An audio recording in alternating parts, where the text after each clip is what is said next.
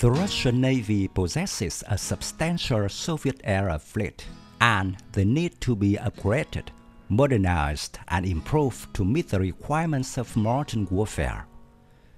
They will be supplemented with advanced interceptor missiles, close-range defense systems, upgraded long-range air defense systems, onboard integration, and even hypersonic weapons. Nuclear-powered cruiser Admiral Nakhimov of Russia, Project 1144M, according to the assessment, will have outstanding power after upgradation.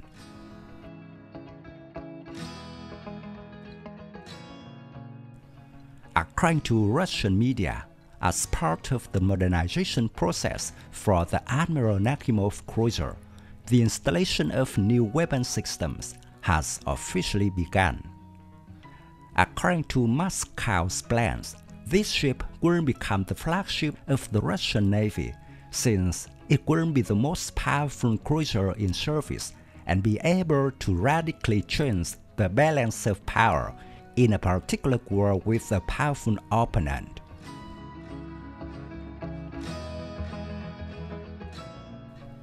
Currently, work on the completion of the Russian cruiser is actively underway, which includes more than 150 suppliers.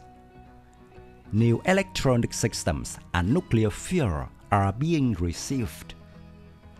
In August 2020, Admiral Nakhimov was taken to a special dock to complete repairs and begin the second phase of modernization.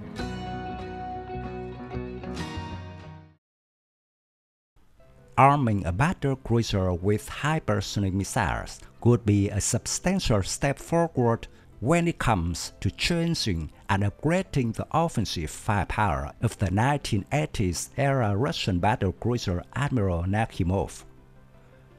The Admiral Nakhimov is being upgraded with ship-tailored Fort M missiles, an upgrade to Russia's S-300 type anti-aircraft defenses, land attack missiles, AK-192 guns, close-in defenses, and new anti-submarine weapons.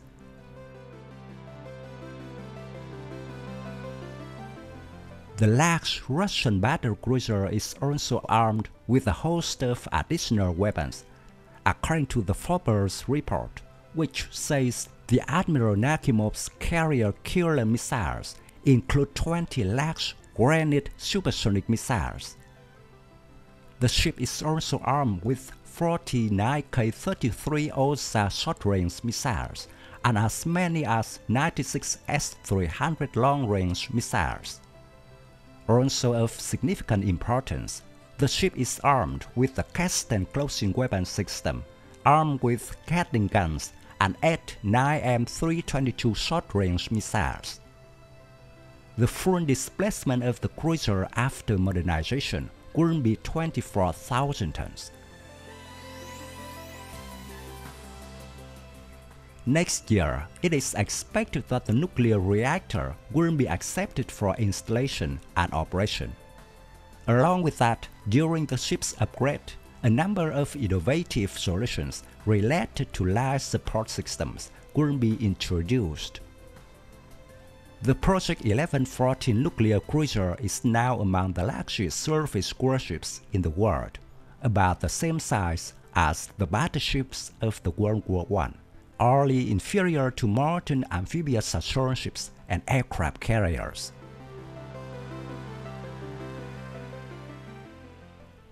The Russian Navy currently maintains two ships of the class, the Admiral Nakhimov and Peter the Great, both of which are part of the Northern Fleet of the Russian Federation. It should be noted that the program to modernize these large cruisers received mixed reviews.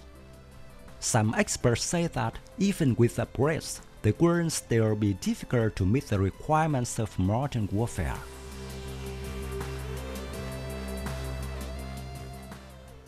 The major disadvantage of this class is their large size, but the design is not capable of scattering radar waves, making it easy to be detected by the enemy from a distance. Not to mention the weapons it carries, it is difficult to take full advantage of its maximum range because of the limitations of the radar. The reality of the battlefield shows that a large cruiser like the Slava-class Moskva of the Black Sea Fleet proved too vulnerable to anti-ship cruise missile attack.